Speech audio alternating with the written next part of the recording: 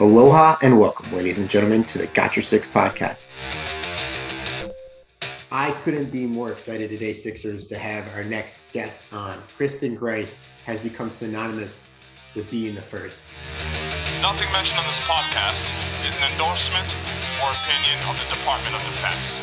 I think that, you know, it's kind of ironic. When I graduated from Ranger School, um, you know, there I thought that was going to like end the criticism about women in the infantry. It's like, oh, you know, okay, cool, the women graduated.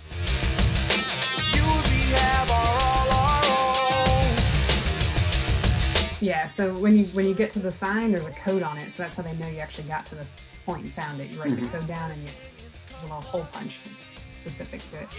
Yeah, I got you six, we got your back.